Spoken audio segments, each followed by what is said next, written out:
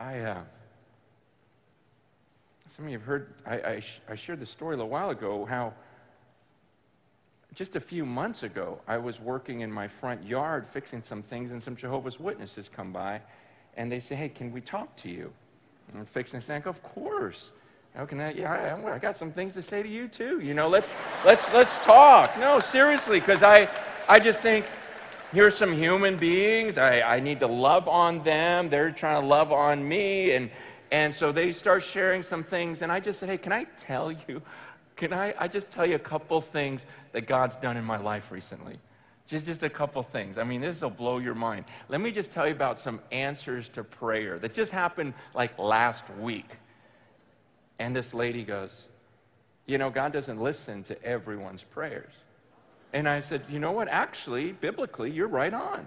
I go, James 1 says that if we doubt, he's not going to listen to us. James 4 says if, if we ask with the wrong motives, he's not going to listen to us. 1 Peter 3 says if I don't honor my wife, man, my, my prayers are going to be hindered. He, he, says in Isaiah 58, if I don't care for the poor, it doesn't mean if I fast and pray. He's not listening. Yeah, I go in Amos, he says, ah, oh, I don't even want to hear the noise of your songs. You know, I'm not going to listen to that. He says, if my people would humble themselves, you know, and, and turn from their wicked ways. I mean, there's conditions, says, you're absolutely right. He does not listen to every prayer, but he listens to mine. And I, and I, said, and I,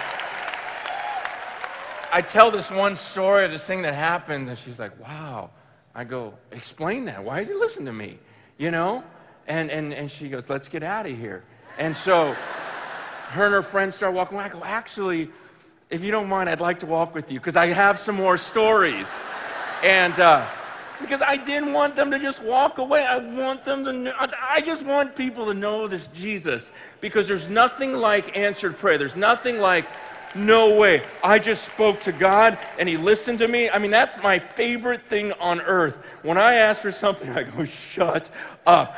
God just listened to me and look what He did. You can't explain this away. And so I'm telling them these stories as I'm walking with them. Man, I went like a block and a half just telling them. And and one of them looks at me, she goes, she goes, What are you? Because you're one of them Pentecostals.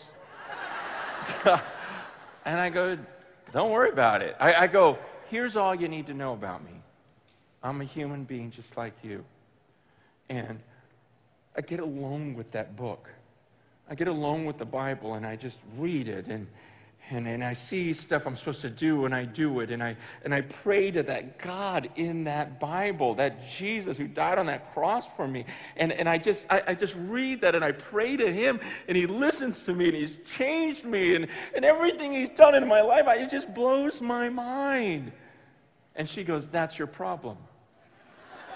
That was literally what she goes, That's your problem. She goes, You read that book by yourself. She goes, You can't understand that book unless one of our leaders explains it to you. And I said, See, that's your problem. no. I said, You're putting all of your trust in someone else. I go, Do you understand this is about your eternity? This is about heaven and hell and you are putting all your trust in what someone else tells you. And, and you understand, man, I think we, some of us in the room do this. Some of the things we believe and do and hold so dear is not because we found it in this book. It's just because someone told us, and I'm, and I'm not saying that we don't listen to people who know more than we do. Man, I, I think there's a time to listen, um, but, but at the same time, you know, I, I see a, a lot of believers just grabbing on and listening to someone because they're a popular speaker or listening to someone because he's a good singer, someone appears really intelligent, you know, quotes some Greek words that you don't know any better. You're like, okay, I guess. And you just start listening and you just follow these supposed scholars. And, and, and just like I told those ladies, I go, look, you would never come up with some of these conclusions if you just read this book over and over again. You, I mean, right now, you guys believe that Michael and Jesus are the same person. You really would have got that from the Bible? You only believe that because someone told you. If you put this verse over here, isn't that kind of the same? Yeah, I, I go, man, just read it for yourself.